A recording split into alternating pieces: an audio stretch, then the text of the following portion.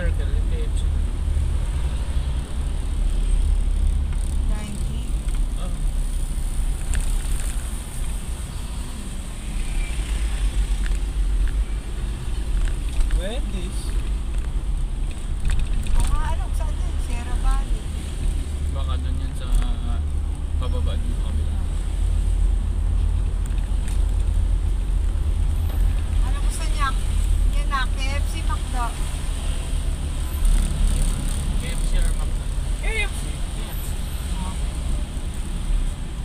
Dibs KFC.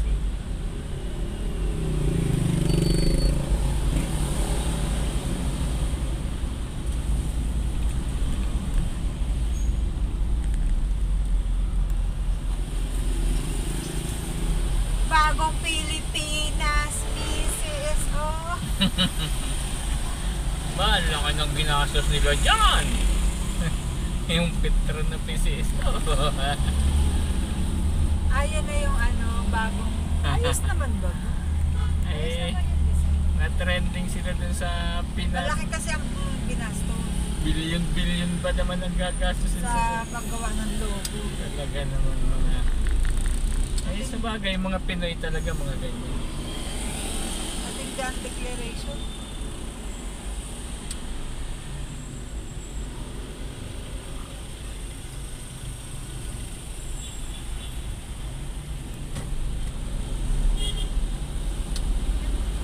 Oh, magsabi kayo doon. Ay. Nakita ako. Anin, anin ma'am, sabi ko, pumunta kayo kayo sa delivery ko kayo.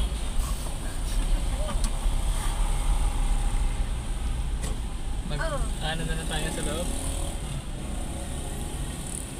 Saan sa mga park yun?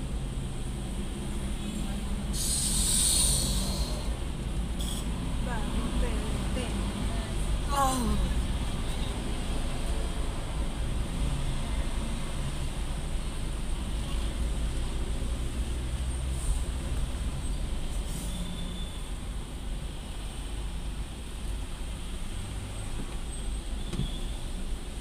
Bagong Pilipinas, lumang mukha.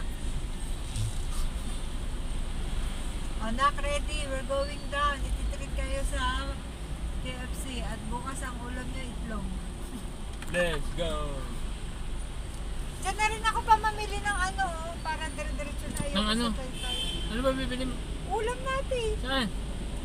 Doon, malakad ka dyan? Sige, Saan ba? Ako lang, kaya... Kaya gusto mong bumili doon. Ah, Halika na, anak. na. Ayusin mo na.